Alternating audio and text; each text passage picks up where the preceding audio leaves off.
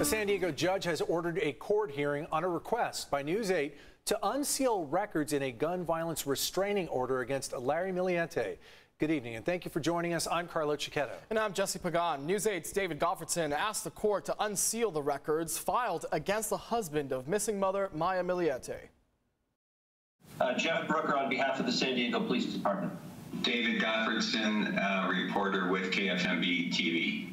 News 8 appeared in court Wednesday at a hearing aimed at unsealing secret records filed in a gun violence restraining order against Larry Millete, the husband of missing mother Maya Millete. The sealing orders were attached to the letter which I addressed to the court. The sealed records include two photographs showing a pile of guns on a kitchen table inside the Millete home, and Maya's four year old son standing on the table, surrounded by the firearms. News 8 also is asking the judge to make public the unredacted gun violence restraining order petition, which currently has important details of the case blacked out.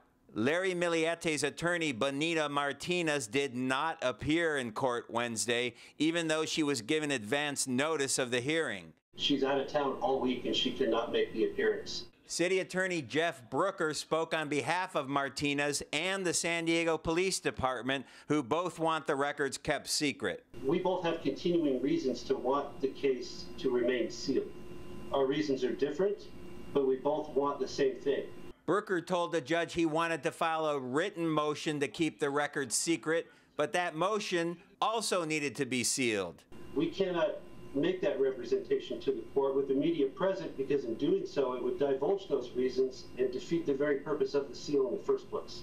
A different San Diego judge, Katherine Bacal, originally sealed the records before police seized Larry Millete's guns. But the sealing order was meant to be temporary, and the records were supposed to be made public following Larry Millete's first court appearance, which happened June 22nd. After that hearing, when News 8 requested the records, the court said they remained sealed. I'm a journalist who just believes in open court proceedings, and I'm trying to make an informal request to the court to live up to its sealing orders.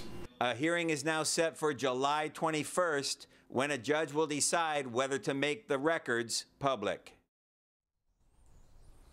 Now, News 8, as I said, originally wrote a informal letter to the judge asking that she unseal the records, but now that it's set for a formal hearing, we have hired an attorney. That attorney will represent us and argue our case in front of the judge on July 21st. Jesse? Now, David, what do we think will be revealed if these records do get released to the public? These records are expected to reveal the justification police have to go into somebody's house and take their guns.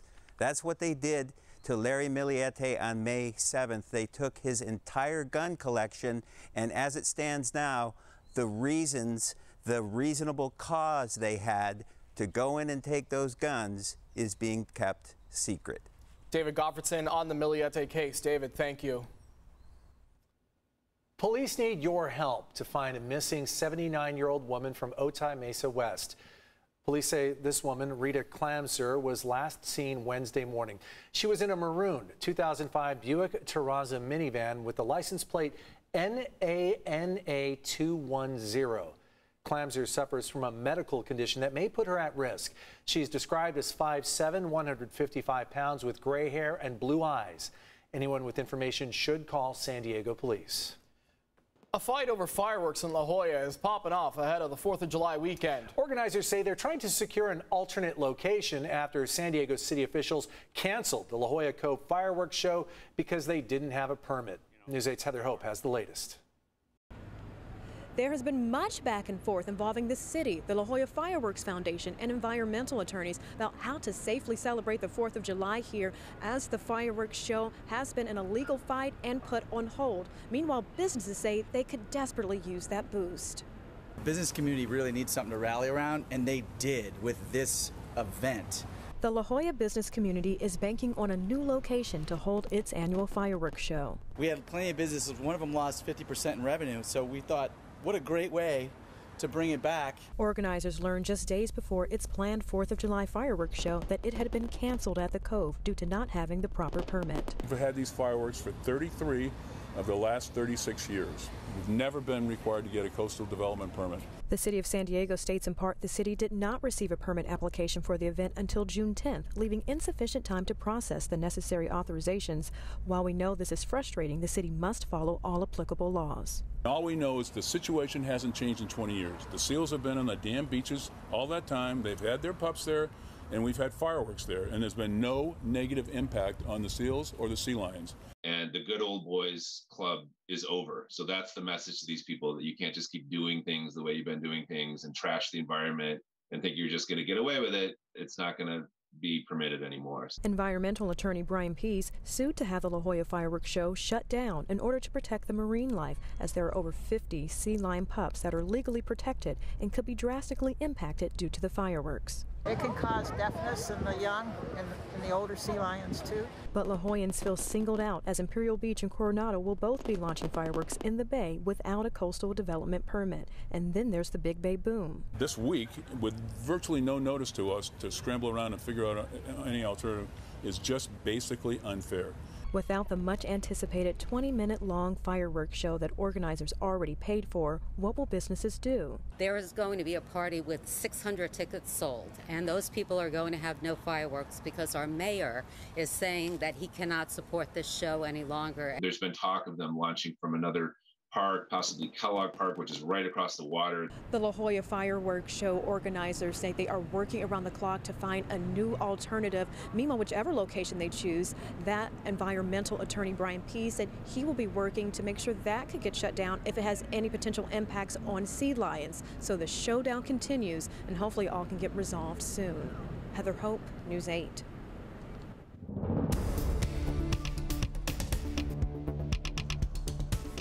It's Friday and we have the 4th of July weekend right around the corner. I'm Chief Meteorologist Carlene Chavis. We're still holding on to temperatures that will be in the 70s right along the coast, also starting off the uh, holiday weekend with some coastal fog. That's going to clear out by the afternoon hours, but we are also talking about some upper level moisture upper level moisture that you're seeing right now. Another influx by tomorrow, even offering up a chance we could see a few isolated thunderstorms over the mountains and the desert by the afternoon hours. All of that looks to dry out as we go into Sunday for the 4th of July. So for the actual holiday, we are looking at drier conditions all across the county and 70 still at the coast, but 88 plus inland. Taking a look at uh, Sunday night. So going into festivities, keep in mind when we do have the fireworks, the Big Bay Boom at 9 p.m. That's going to be at 68 degrees. A few clouds will be around and the marine layer rolling in by the nighttime hours. We'll go ahead and take a closer look at your surf forecast coming up in your complete forecast. Jesse?